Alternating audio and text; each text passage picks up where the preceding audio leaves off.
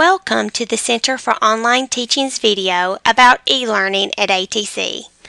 E-learning at ATC is a web page that both students and teachers need to be familiar with.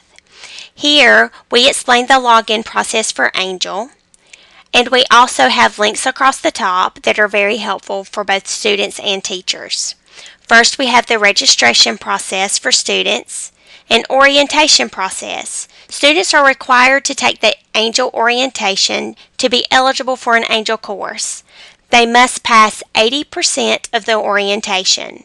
This will appear in the student's academic history. Software and hardware requirements, which are often updated, courses offered, a fact page, and technical support. This is the link students need to be directed to if they are having any technical issues with their Angel course. Something that is very important for instructors to share with their students is to bookmark the Angel link. Add it to their bookmarks or add it to their favorites. The reason this is important is if the Athens Tech website is down, many students do not realize they can still access their Angel course. However, if you provide them with the link at the beginning of the course, then they'll know if our website is down they can still complete assignments or tests in a timely manner.